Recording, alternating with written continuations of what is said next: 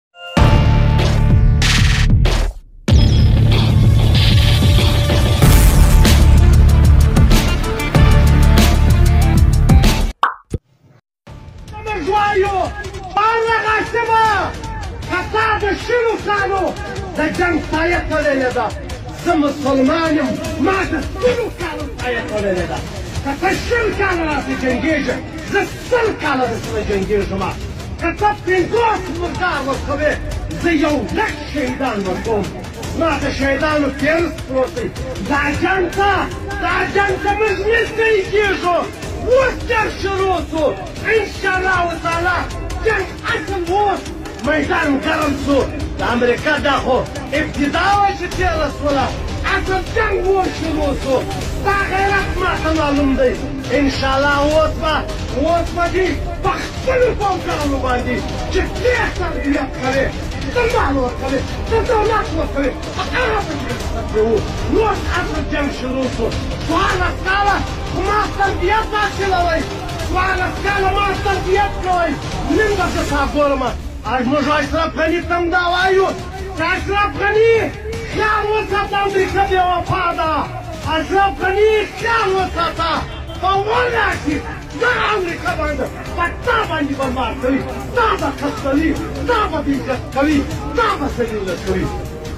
الله وایي